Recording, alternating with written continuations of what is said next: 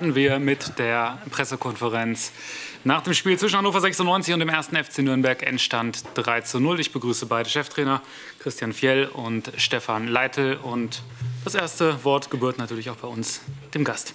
Danke. Ähm, Stefan, erstmal Glückwunsch zum hochverdienten Sieg. Ich hoffe, Sie sind mir nicht böse, wenn ich mich kurz halte. Ähm, ich glaube, Heute gab es für uns nichts zu holen. Ähm, wir haben nicht stattgefunden. Der Gegner war uns in allen Belangen überlegen und ähm, wir können noch froh sein, dass wir mit äh, 0 zu 3 nach Hause fahren. Ähm, alles Gute für den Rest der Runde und einen schönen Abend. Dankeschön. Vielen Dank, Christian Fjell. Stefan, dein Statement. Ja, Fjell, erstmal danke dir für die Glückwünsche. Ähm, ja, ich finde, die Jungs waren, waren gut in der Umsetzung, was wir vorhatten. Wir hatten, wir hatten eine sehr gute Energie, dementsprechend ist das Ergebnis auch gut. Ähm, trotzdem ist es, ist es so, auch wenn man überlegen spielt, gibt es eine Situation im Spiel, die das Ganze vielleicht ins, ins Wanken ins Wanken hätte bringen können, dieser, dieser Pfostentreffer. Das ähm, darf uns dann nicht passieren dass der Gegner mal eine Torchance hat oder speziell jetzt auch heute Nürnberg, das ist klar, aber trotzdem ist, ist es schon so, dass wir vorher unsere Großchancen dann auch ähm, besser verwerten müssen, um dann auch mehr Ruhe ins Spiel reinzubekommen. Ansonsten sind wir mit dem Auftritt, mit der Leistung, so wie ich es gesagt habe, mit der Umsetzung natürlich sehr zufrieden und freuen uns, dass wir jetzt das siebte, Spiel in, äh, siebte Heimspiel in Folge auch ungeschlagen sind. Ähm, und dementsprechend für uns natürlich ein schöner Abend. Ähm, Fiello, dir natürlich auch ja, maximalen Erfolg Vielen Dank. für die restlichen Spiele. Und wir sehen uns im nächsten Jahr. Dankeschön. Danke, Stefan. Jetzt ist Zeit für eure Fragen. Dirk kommt mit dem Mikrofon. Als erstes zu Jonas Gress von Matzak. Äh, hi, ja, Frage an äh, Stefan Leitl wir waren die vergangenen Wochen sehr kritisch mit dir nach sechs sieglosen Spielen. Ähm, ich glaube, an dem, an dem heutigen Spiel gibt es außer der Chancenauswertung wenig zu kritteln. War es aus deiner Sicht vielleicht sogar die beste erste Halbzeit, die 96 unter dir gespielt hat? Das könnt ihr beurteilen, ob es die beste Halbzeit war. Ihr könnt mich auch gerne kritisieren, habe ich auch kein Problem damit. Ähm, wir gehen hier einen gemeinsamen Weg und ich glaube, wenn alle bereit sind, diesen Weg zu gehen, dann wird Hannover auch irgendwann mal da landen, wo sie alle sein wollen. Nächste Frage kommt von Stefan Hux, Radio 21. Hängen bleibt auch, dass die Offensivspieler wieder super funktioniert haben. Doppelpack von Harvard Nielsen und dann fast noch schöner, finde ich, weil er so lange raus war. Ein super abgeschlossener Konter von Sadie Teuchert. Wie glücklich macht das den Trainer nach dem Spiel? Ja, sehr, weil es natürlich auch schwierige Wochen für Sedi waren. Wir haben darüber schon gesprochen. Ähm, dass es natürlich auch dann die mentale Komponente dazukommt. Ähm, war lange verletzt, ähm, Rückschläge dann in der Vorbereitung, ähm, dann Entscheidungen treffen über die persönliche Zukunft. Und jetzt war dieses Thema eben, eben weg. Und ich habe es euch ja im, im, oder bei der Pressekonferenz schon gesagt, dass jetzt eine gewisse Leichtigkeit auch bei Sedi zu spüren ist und ist natürlich für ihn jetzt, glaube ich, heute ähm, ja, mit dem Tor ein sehr schöner Abschluss für diese Woche und für uns alle natürlich. Michael Richter mit einer Frage vom Kicker. Stefan, wenn du dieses Spiel jetzt mal nimmst, über das ihr euch zurecht freuen könnt und es mal als Blaupause drauflegst auf die Spiele, die äh, in der Vergangenheit gewesen sind, wo oft genug Grund zum Ärgern war, weil sie einfach nicht zu euren Gunsten ausgegangen sind. Welche Szenen oder welche Verhaltensweisen würdest du nehmen, um sie den Spielern zu, äh, vorzuführen, um zu zeigen, so geht's, so gewinnen wir unsere Spiele? Ich glaube, dass das wichtig war nach, nach der Analyse, nach der Hinrundenanalyse und auch der Umstellung in die neue Grundordnung und mit dieser offensiveren Ausrichtung, ähm, dass die Jungs Vertrauen in die Abläufe bekommen, Vertrauen durch gute Ergebnisse. Wir haben ähm, wirklich gut trainiert in der Vorbereitung, wir haben gute Testspiele gespielt ähm, und wir sind auch letzte Woche gut gestartet. Ja, und ich glaube, dass wenn du auswärts so spielst, das habe ich schon mal betont, wie wir letzte Woche gespielt haben, dann muss das auch mal reichen, um in der zweiten Liga drei Punkte zu holen. Leider waren wir nicht ganz fehlerfrei und deswegen hat es nur zum Punkt gereicht. Aber wenn man auswärts punktet und zu Hause gewinnt, auch gut. Ähm, und speziell heute, glaube ich, hat man gesehen, dass gewisse Abläufe greifen. Ähm, das wird auch nicht immer so sein.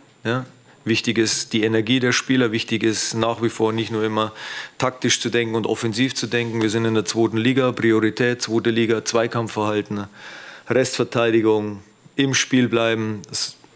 Alles unter dem Begriff Energie und das war heute gut und deswegen haben wir auch verdient gewonnen. Eine weitere Frage. Gehen wir einmal in die zweite Reihe.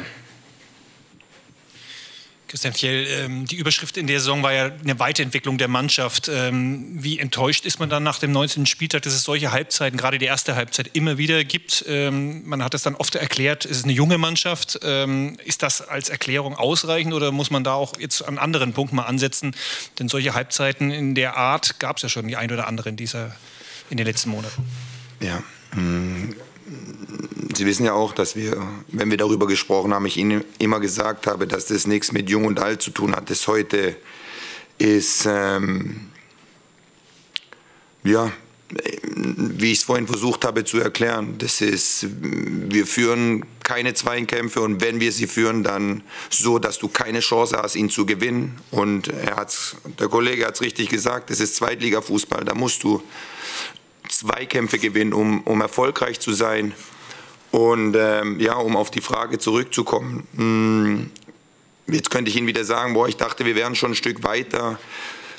Es ist immer noch Fußball, aber nochmal, ähm, wir haben viel gesprochen auch diese Woche, vor allem nachdem wir gut in die, in die Rückrunde gestartet sind, ähm, darf uns sowas wie heute, ja, nochmal, du kannst verlieren in Hannover, aber die Art und Weise heute war nicht gut. Nächste Frage von Stefan Hawks von Radio 21.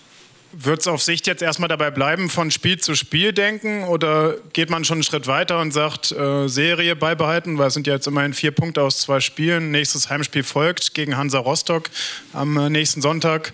Und äh, darf man dann irgendwann mal wieder sich noch ein bisschen weiter nach oben vielleicht sogar orientieren in der Tabelle? Denn einige von da ganz oben, die kommen ja noch hierher. Und wir haben ja gehört, dass die Heimbilanz sich eigentlich ganz gut anhört für den Moment.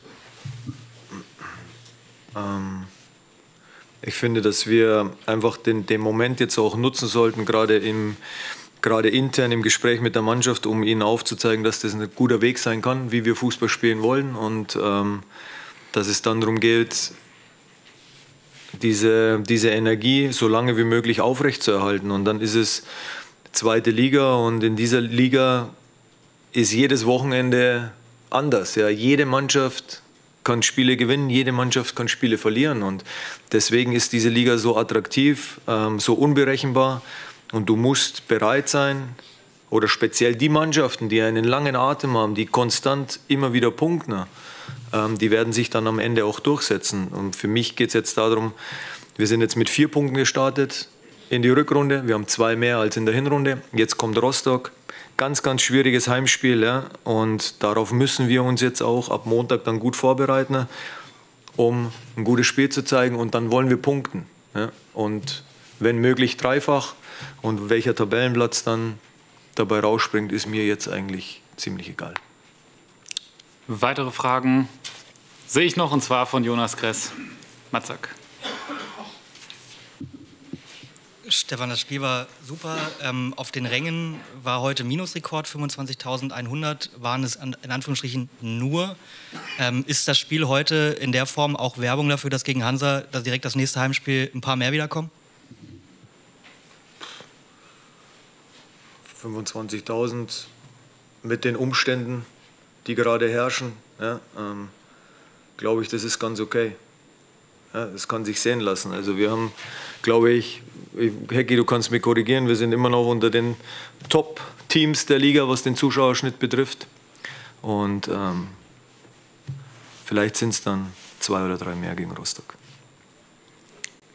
Würde uns gefallen, eine Frage noch von Florian Krebs von der Bild.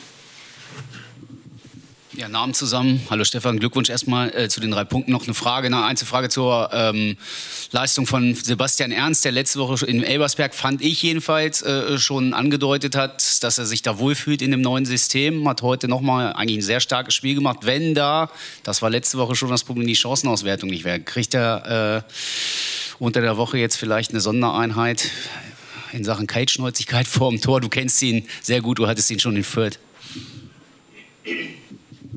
Also mein offensiver Mittelfeldspieler kommt zu, glaube insgesamt fünf sehr guten Chancen. Da will ich den Sebi auch haben und ähm, irgendwann wird das Glück auch wieder auf seine Seite kommen und dann wird einer reingehen. Ja. Aber wichtig ist ähm, nicht, wer die Tore schießt, sondern dass wir Tore schießen und dass wir Spiele gewinnen. Und das haben die Jungs heute getan.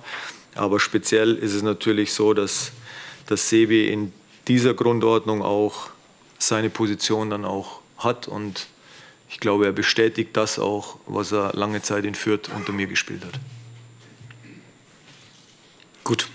Weitere Fragen sehe ich nicht. Dann danke ich herzlich für die Aufmerksamkeit. Gute Heimreise, Christian ja, Fjell und den Nürnbergern. Und wir sehen uns, wie schon ein paar Mal anklingen lassen, nächste Woche wieder gegen Hansa Rostock. Ciao. Ciao, ciao.